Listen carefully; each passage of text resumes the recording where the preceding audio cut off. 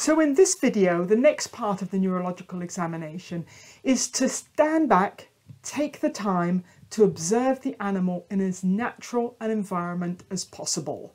That might mean looking at a video of an animal going for a walk or moving about their own house, or uh, it will mean, if it's a dog, taking it outside and walking up, up and down in a relaxed manner on a leash. My next recommendation, and one that's relatively simple, but often bypassed by the busy person for understandable reason, is to take the time to observe the animal. And this really shouldn't be bypassed because you can gain so much information just by watching. And I'm especially talking to those of you who might be training in neurology residencies. So often I see people rushing the animal through to do a neurological examination without actually taking time to watch. And this should be allowing the cat to walk free in the consulting room. I allow the animals to walk free whilst I'm taking a history, and that gains me a lot of information and also allows the animal to relax a little bit. And I also, uh, if it's a dog, ask the owners to walk the dog outside on as long a leash as possible, allowing the dog to sniff up and down, because then I can see the animal turning, I can see the animal how the animal behaves in a natural environment. And better still, especially if it is a cat, ask them to provide a video so that you can see the animal in a more natural environment. This is a cat that uh, it's quite an old video now, but I still love it because it really illustrates everything that I want to say. This was a cat that, when it presented to the consulting room, it would look quite normal uh, and also was difficult to examine in the consulting room because of fear. And we can see this cat here looks starts off looking maybe just a little bit odd. Um, uh, uh, but walking relatively normal. And the thing about cats is, as soon as they are tired, they sit down. And so, just as you think you might be able to see some alteration, like, oh, uh, uh, no, we're not really tired here. We're just pretending to sleep. Um, so you just begin to see some some uh, change in the gait. A lot of you will be thinking this cat perhaps looks slightly lame. That's very understandable. Oh no, no, we're, we're perfectly fine here. Yeah, nothing to see, nothing to see. Can you just see how now as the cat walks a little bit further, the gait becomes a little bit short. Perhaps the neck is a little bit flexed, but he's a cat, so he's just going to go on and examine around here. Yeah, that's a very interesting fork. Yes, I like this very much. Yeah, yeah. Um, and I'm just going to. Um, no, I'm not going to come towards the owner. I'm going to. Yeah, I'm going to sit down. I'm just going to sit down here like this.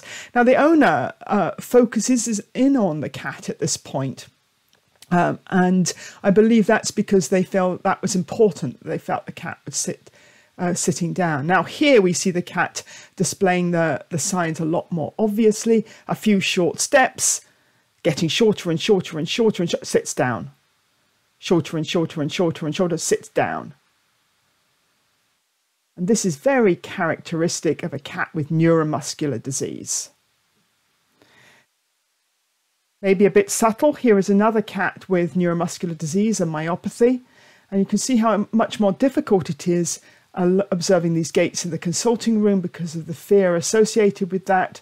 This cat is just going from one hidey hole to another, but we can get the impression that this is a very weak cat. Notice that their mouth is open. Quickly, quick old dash there.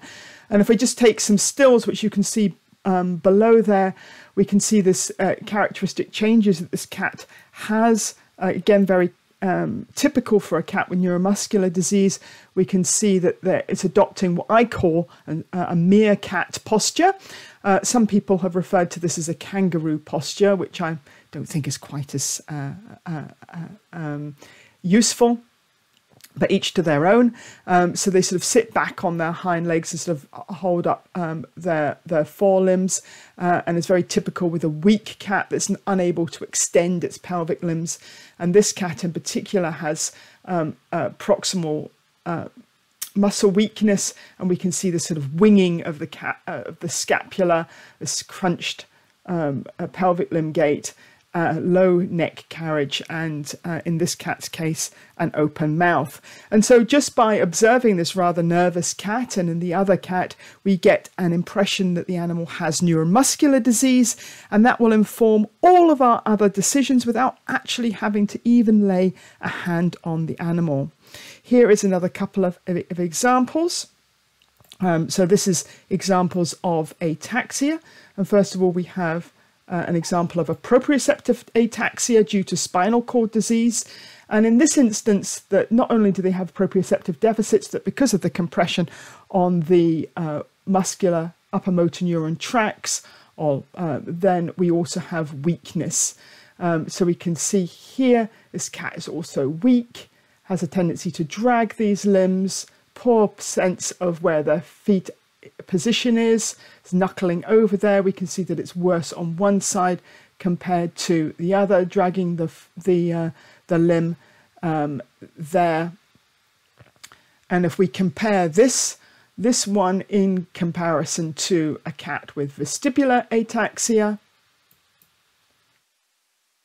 we can see here um, this cat with uh, ear disease uh, has an asymmetrical ataxia with a um, head tilt and wide based stance. There's a tendency to deviate to the side of the head tilt. This cat was featured in a video on circling. Cat's quite bright otherwise because it doesn't have um, brain disease, it has ear disease. You see the leaning over to one side, deviation to that side. And again, just by observing the animal, we already have um, localized this lesion much. Uh, and we just need to refine it with our other neurological tests, such as proprioception. And here we have a cat with metabolic disease that's causing a cerebellar ataxia. And we can see this dysmetria uh, and increased increased limb tone, giving a kind of goose stepping gait, as sometimes it's referred to.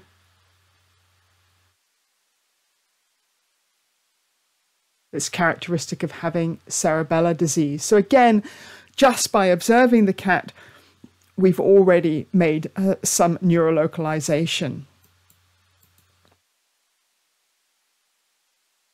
Our next tip is assessing the cranial nerves. Hope to see you then.